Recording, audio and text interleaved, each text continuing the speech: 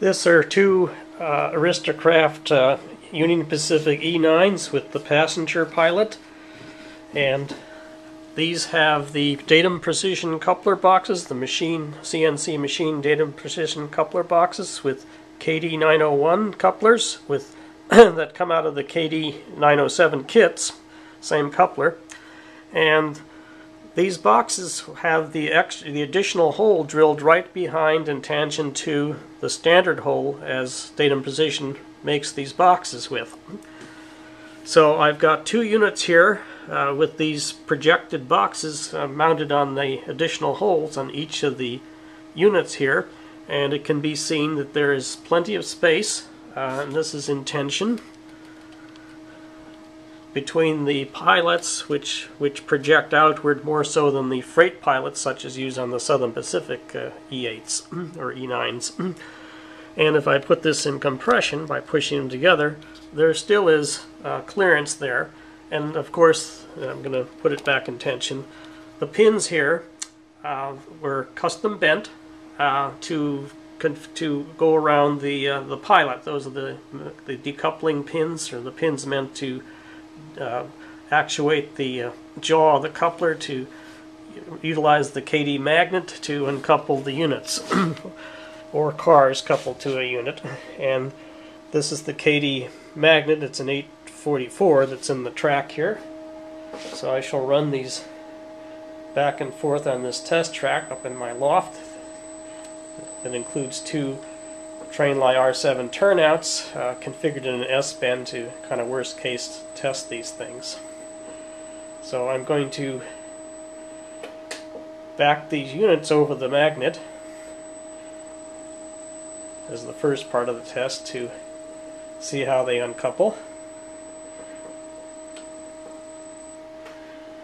And if I'm lucky, one unit will go a little faster than the other. If not, I'll have to... There we go. You can see that they do uncouple.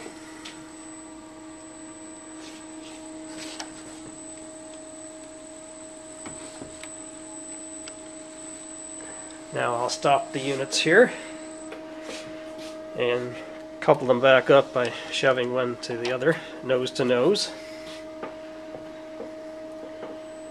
And we'll run it over the S-bend to see how the coupler performs. Right now it's on the straight backing up prior to the switch.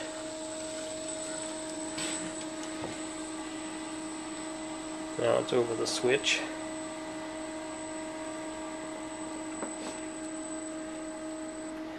So I'll actuate the switch and it can be seen that there are two, there's a, there's a left and a right uh, switch here and they're configured such to test for an S-bend and there's a six inch track section between the two. You should have a minimum, preferably a foot, uh, between any switches that you want to configure like into a yard situation. You should have it at least the length of the longest locomotive. Uh, I would say between the frog points you should have at least the length of a locomotive and this is probably tighter, a little bit tighter than normally would be expected.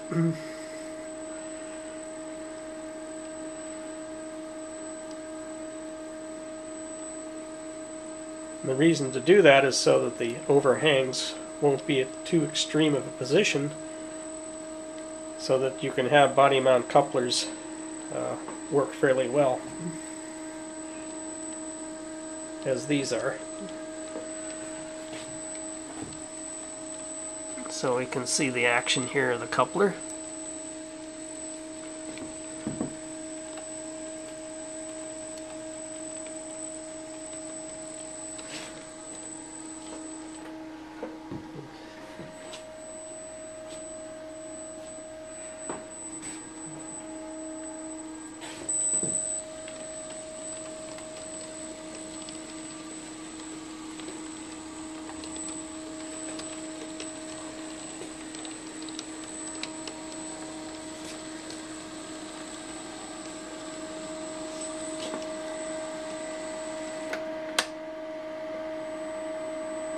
Run it back in the right hand direction again with an overhead view.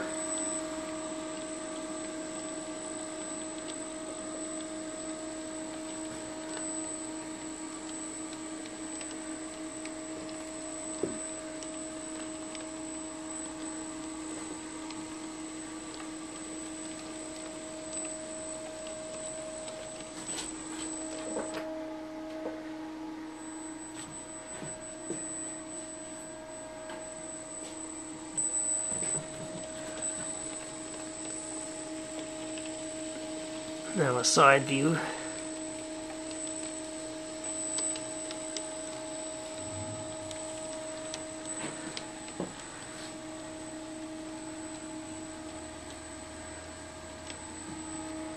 Now I'm going to switch this turnout for the longer path here before it reaches an S-bend.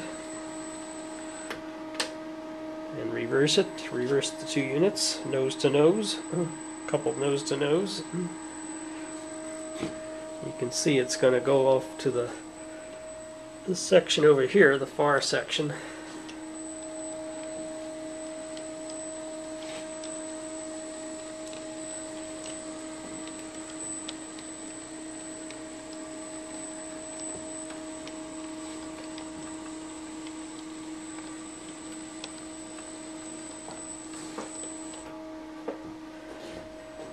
Unfortunately, I don't have enough track extension to fully test it. But during the development process, this brought out some issues to contend with, which have been remedied.